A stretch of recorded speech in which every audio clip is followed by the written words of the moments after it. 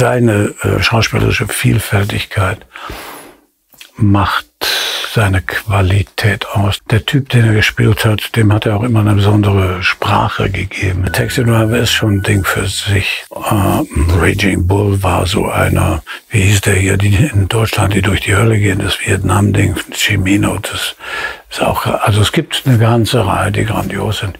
Ich habe auch manche kleine Filme gemocht. So wie New York, New York. Ist egal, also gibt's schon eine, kommt schon eine ganze Reihe zusammen.